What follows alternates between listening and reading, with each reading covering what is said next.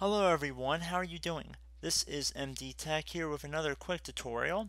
In today's tutorial, I'm going to show you guys how to resolve if your NAS drive is not visible on your network on your Windows 10 computer. So this should be hopefully a pretty straightforward tutorial and we're going to jump right into it. So the first thing I'd recommend doing would be to open up the start menu, type in network,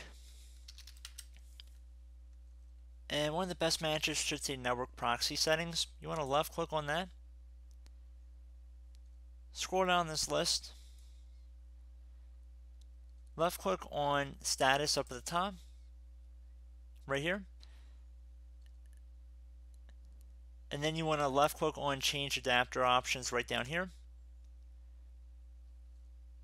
Whatever your adapters you're using, some people will be using an Ethernet connection. It really depends on what kind of computer you're using.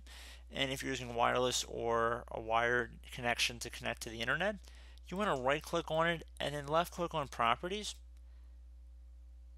You want to go and left click on the Internet Protocol version 4 down here, TCP slash IPv4. Left click on the configure option right here. Left click on the properties button right here. You want to make sure it's set to obtain the IP address automatically and the DNS server address automatically as well. Click on OK just to ensure that. If you are set to anything else, you want to turn it off. So we can close out of here.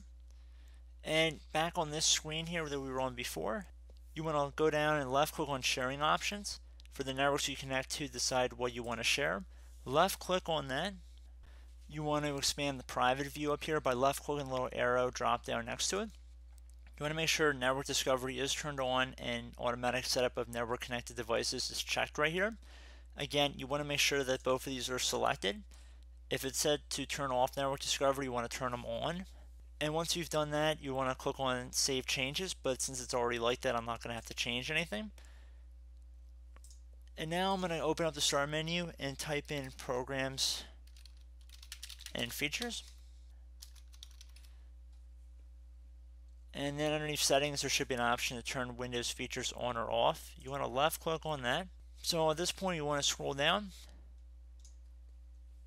If you see anything that says SMB, you want to expand this view here. You want to make sure they're all checked. So you see I don't have one of them checked. Again, we want to make sure all of these SMBs are checked down here. And you can see on my screen they all are at this moment. Left click on OK.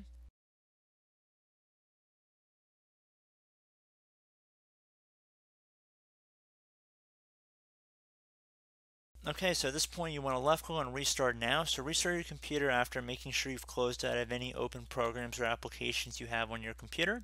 And hopefully this should resolve your issue. So as always, thank you guys for watching this brief tutorial. I do hope I was able to help you out.